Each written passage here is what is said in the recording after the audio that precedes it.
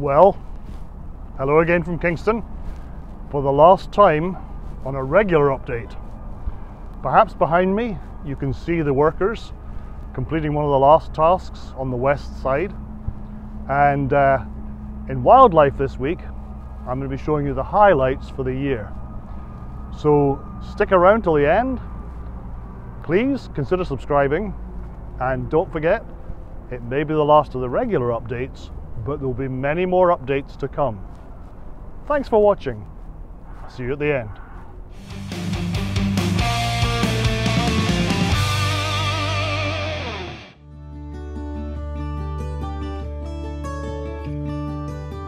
Monday saw the return to site of familiar faces from GIP.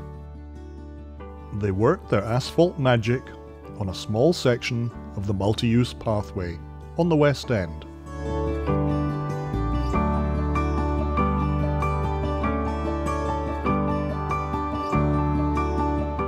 What would prove to be a big week for departing equipments kicked off with preparation and movement of the Tadano wheeled crane. It would take little time to load, a necessarily cautious process. Then, after securing it and backing up the tractor, it would head off to its next workplace.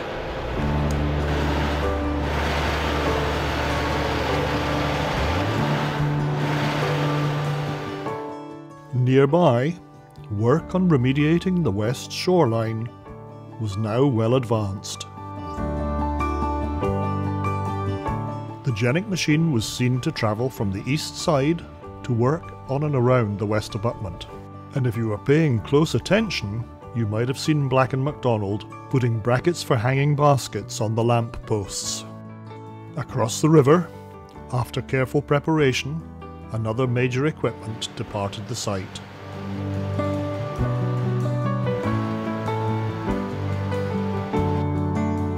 Below the Gore Road Library, Sharp Landscaping continued addressing the considerable task of landscaping the area. Tuesday opened to reveal an ever emptier West End and more equipment lined up for departure. But we'll start over the river on Gore Road, where a team from Utilities Kingston activated and trialled the traffic signals on the Point St Mark Gore Road intersection. In the library car park, with their work on the east side complete, Barr loaded their excavator and prepared it for movement to the west end.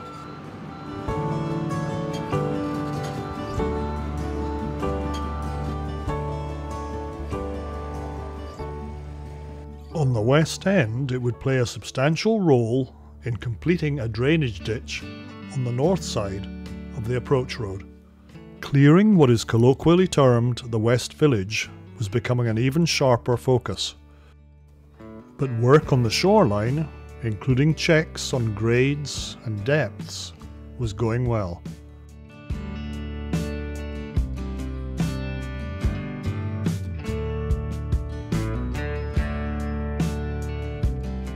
Wednesday started pretty foggy, and curiously enough, the fog got more dense as the morning went on.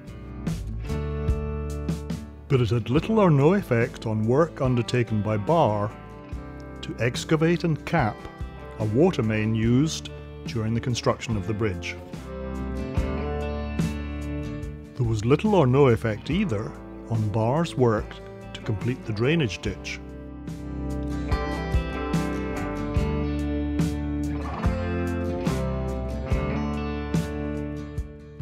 Was a busy day on the water, with crews on the west end wrangling with Old Curtain, and on the east end, a boat engaged in what appeared to be surveying depths and details of the bottom off the east shore.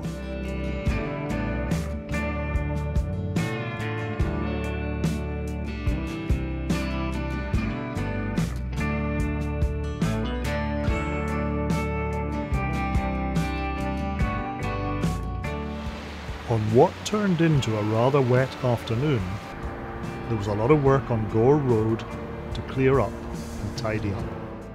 By nightfall, things were considerably clearer. Thursday was an altogether better day and saw RW Electric installing celebratory banners on the bridge ahead of its opening. A task clearly undertaken with the utmost efficiency.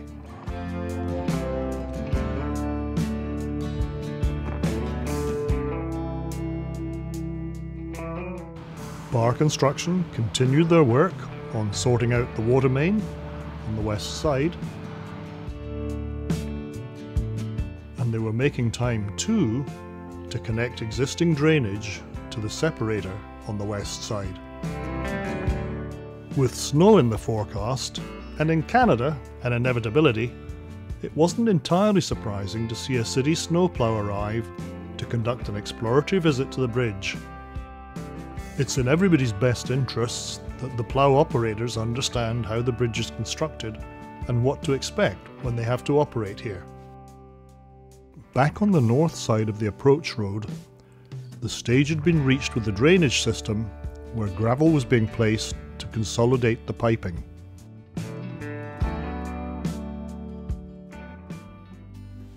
Meanwhile, at the waterline, in continuing work to ensure environmental safeguards, a crew was removing sediment samples for testing.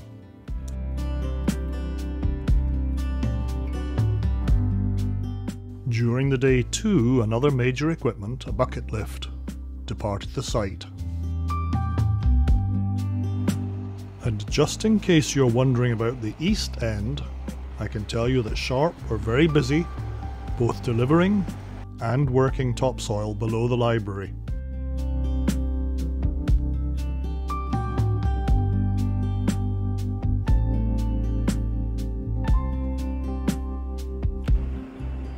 And there was a lot of movement of redundant material from the site as well.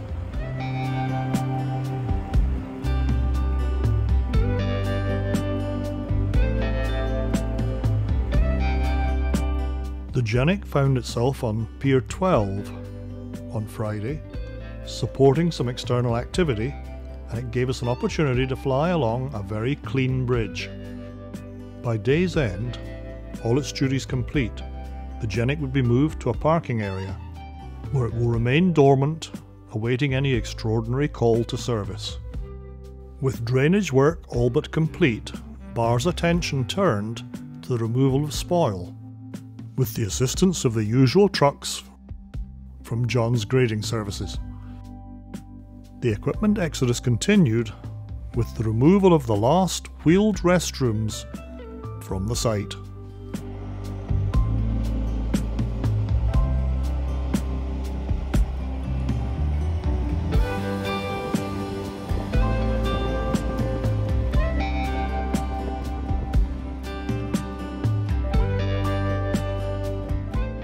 We opened with a mention that the Genic had started the day out on Pier 12. It was providing a platform for a talented team from Queen's University who have designed and installed sophisticated sensors on the bridge.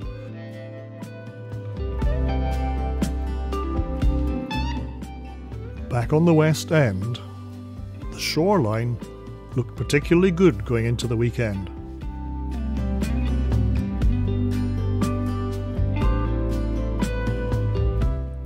And that leaves me with just one more thing to mention before we go to wildlife.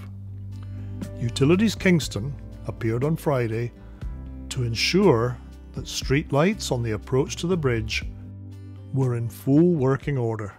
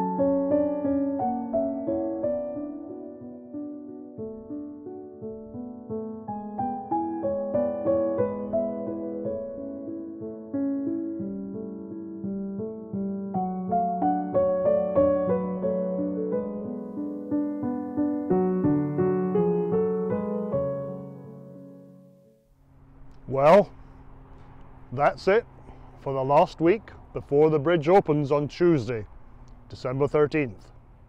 I want you to know that it's been a privilege.